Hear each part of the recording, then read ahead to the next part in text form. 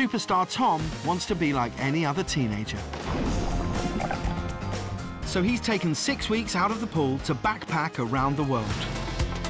The first country on their globe-trotting trip is where every great backpacker starts their experience.